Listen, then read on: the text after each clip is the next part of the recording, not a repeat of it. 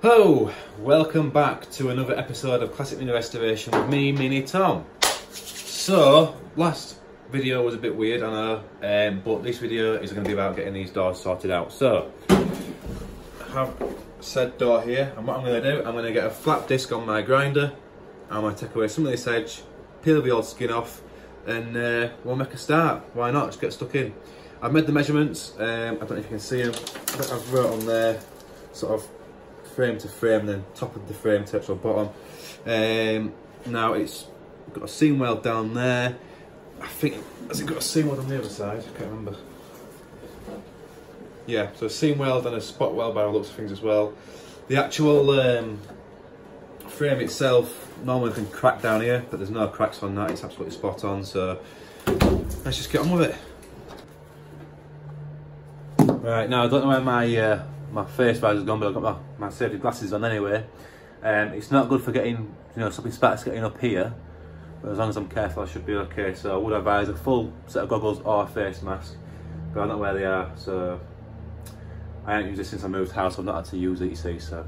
Anyway, let's go on.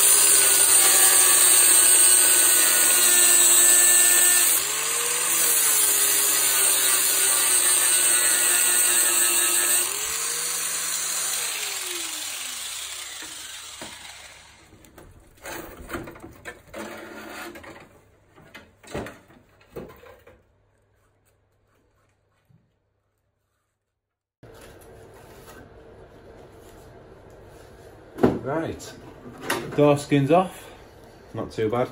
Just noticed there's a couple of spot welds. There's a spot weld there, and just in line with the, um, the door handle as well, there's a spot weld there. So obviously I've got some surface rust which we'll have to just cut back and treat. There's some surface rust on there, which I'll have to just cut back and treat. So we'll grind that back, wire wheel it all out and uh, Kurust it, but I'll get the other side of the lip off first. Um, don't know if you can see it grinding through the top bit, you could see it separating, so it's quite easy to do it that way. You just got to be a bit careful you don't damage the lip too much. Um, yeah, bits of surface rust, obviously we're changing that bottom part anyway. Um, overall, not too bad. You see how crusty that bottom bit was. So that's completely gone. Um, the corners, fantastic, they don't seem too bad. So I might get away with keeping the corners on this one. Um, I say, just cleaning it up and Kurusting it, but we'll have to see how that one goes. Um, yeah, so the next step I'm going to get this lip off. It should be a case of just peeling it back with a pair of needle nose pliers. Uh, yeah, let's get on it. Don't even need the pliers, it's coming off really well.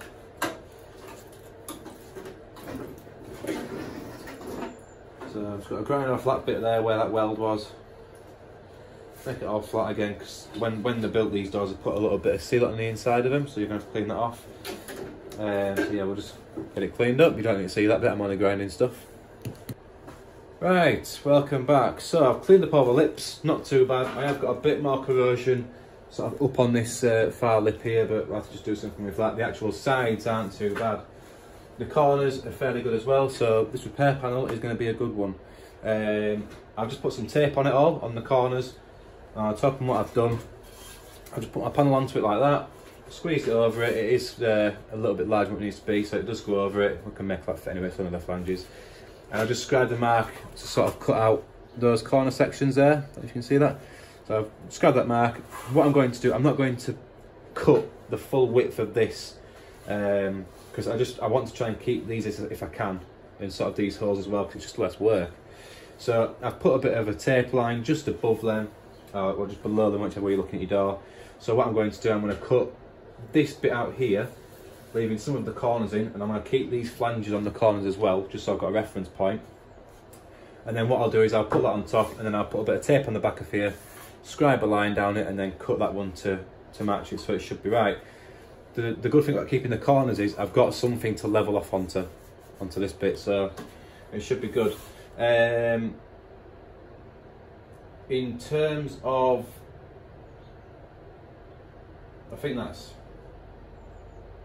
oh, that's what I was going to say. The lip here on the Magnum panel is ever so slightly um, wider than the lip on the original. The original lip's about 20 mil all the way around. In places it's 20 mil, just less than as well, and in places it's about 22, 23. So just watch for that. I'm going to have to grind the corners down, it seems to be on most. So I'll take the corners down a couple of mil just to get it all. So it's 20 mil across it. And then I know that this, from here to here, and from there to there, should be exactly right. So my door skin should fit straight back onto it. Of course, we'll tack it in and check it anyway, just in case. But that's what up to. So what I'm to do, I'm just going to cut these bits out. So I'll stick it on a time lapse and then we'll offer it up. So if uh, if you've watched my channel for a while, you will know the last time I used a grinder, in fact it's still in the uh, in the toolbox, the one that I did use. The last time I used a grinder with a cutting disc and I took my finger off. Um, I have used one since, thanks to Dave Jag and uh, DJC for that one. I did that about a month. I think I had the plaster on actually when I used it. Um, so yeah, here goes nothing.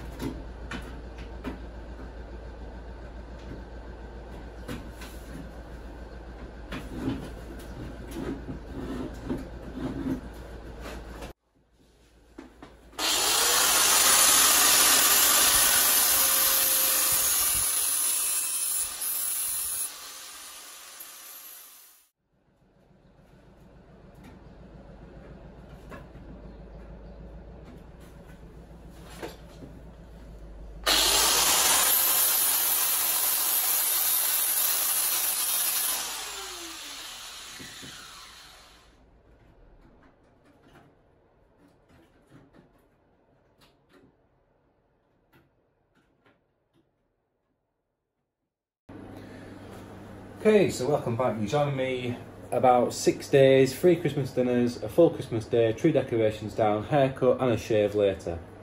Um, the last bit that you just saw then with the Professor on the panel, I had to rush off, couldn't finish it.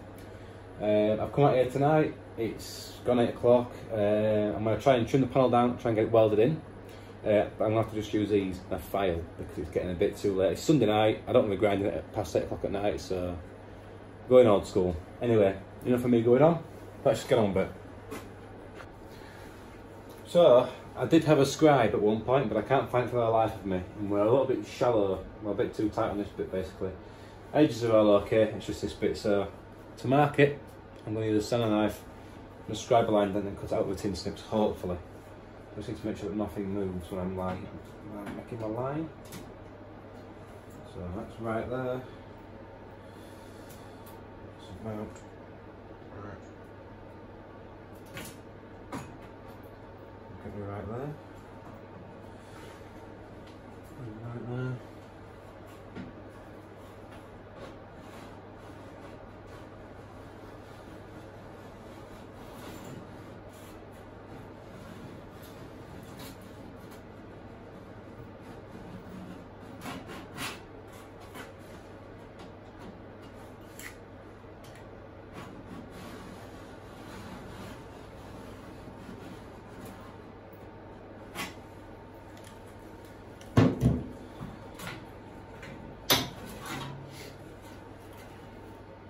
Give me a little line to go by. I don't know if you can see that picking up there, but it's giving me a little line.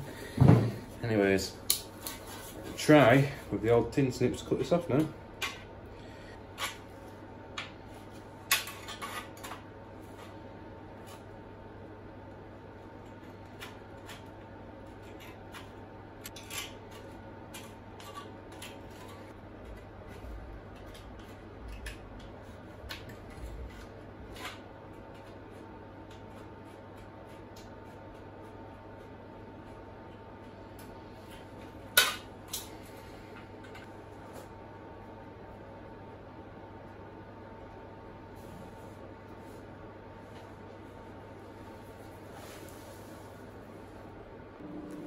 Right, so I've got that fitting pretty much exactly how I want it.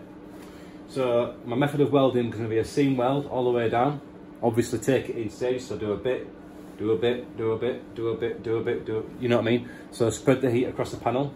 I have been told these can walk very easily, um, so just do little bits. Now I could have obviously flanged it down the down the inside of it and plug welded it. It's not too structural, so that would have been a, an okay method. But given where it is, I'm cutting the rust out, I just kind of thought, well, that's quite a strong part of the panel anyway, on, on this side. Um, so we'll go for it. And I mean, you're not going to see any of this. Round these bits on the corners, it would be very difficult to get a nice neat flange there. You would have to seam weld that anyway. So what you end up with, you end up with like a flange on this bit, but the rest of it you have to seam weld anyway. So for what it's worth, cracking out the compressor, getting the flange tool out, I'm just going to seam weld it. So here it goes. So obviously, if you didn't know, Clarke MiG 135TE turbo on pub gas. Um, settings are one max. I'm sort of between six and seven. I think Keith Miller does the same thing as me. Um, we'll just see how it goes. We'll play about those settings. So here we go.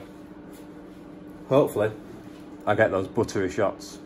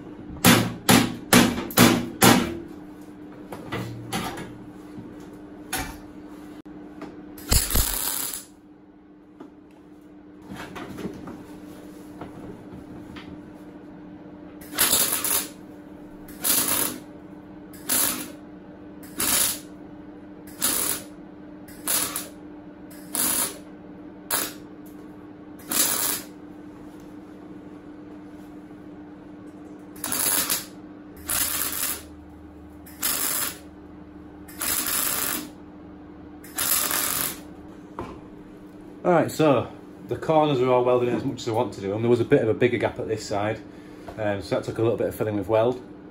The top layer is a little bit rusted, uh, rusted. Um, not obviously that bit, that we know that bit is, but that's quite thin at the top there. So I might have to do something with that.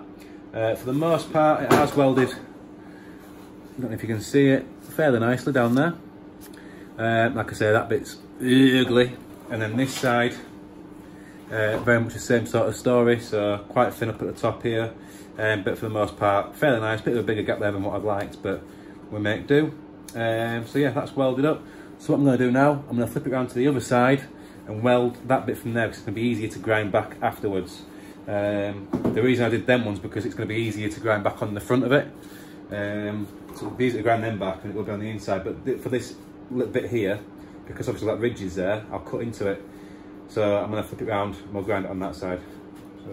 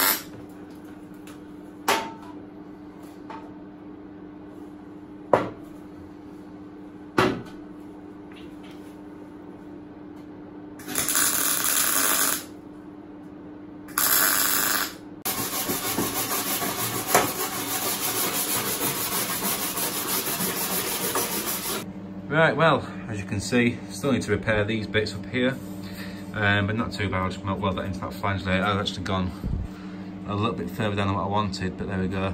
Yes, I blew through a few times there. Like I said, the gap at that side was really bad. But there's the welds. I don't think they're too bad. The issue that I'm having um, is obviously it's cold in here, so when I'm breathing into my mask, it's fogging up, so I can't see all the time. But all things considered, I don't think that's too bad. And on the other side, I'll show you them as well. So you can see the penetration. Can you see that? That's beautiful penetration, is that? Absolutely beautiful. Yep, blew through there. But all in all, I'm quite pleased with it. All I'm going to do now, if you remember in the, in the other episode I took some measurements, now, I don't know if you can see the very faint blue lines that I've put on, one here, one here, and one here. So I measured it in three places. And then if you can see them markings just there, so that was 475 mil, 476 mil, and 472 mil, and that was from the, from that lip there. So against that lip, like that, straight down, and it was to the bottom of the um, sort of the returned edge on here. If you can see where I'm pointing just there uh, this bit here, so where it sort of falls back on itself, not the actual flange, because we know where that is. So I'm just going to measure that and just see what we are coming out with. So what do we say on there? 475. It's 474. Is that the right place? 474. What do we say there? 476 we have got 475 and this side was 472 which 471 so it looks like I'm about a mil too short but what's a mil on a Mini? It's not about a lot, is it? So, uh, yep, happy with that. So, next episode, when it's a bit lighter, we'll linish these welds back, repair the edges, and then it's door skin time. What I am going to do quickly is I'm just going to put the hinges on and just try the, the door frame in the aperture, and I might even try and see what the door skin's like on the actual frame as well. Alright then, so first impressions. The skin seems to be twisted a little bit, um, but I don't expect anything less from a Magnum panel really. It's uh, it's nothing that won't come in when we start bending these flanges over. So you can see that it's kind of flush there. Then at the top there's a bit of a gap, so when I pull it down obviously it pops that end up. So it's it has got a bit of twist in it, but like I say it's nothing that I don't think will, will sort itself out. The kind of important things are is that underneath just, I don't know if you can see it, but uh, just there you go. So there you go. That hole lines up there. Uh, so we, we bolt that, we nut and bolt that, we'll make sure that lines up. I think there's a bolt on that side, might not be. I'm lying to you. So we make sure we put a nut and bolt in there. Obviously we've got a seam weld, them bits, just there and there. And then I want to basically clean up the flanges again, make sure the inside is absolutely spotless, get all this crappy transit paint off, zinc prime it, and then tiger seal, put a thin layer of tiger seal on the inside of this flange here, and then we'll bend it over, not only will it give a bit of water, waterproof protection, but it will also help it stick.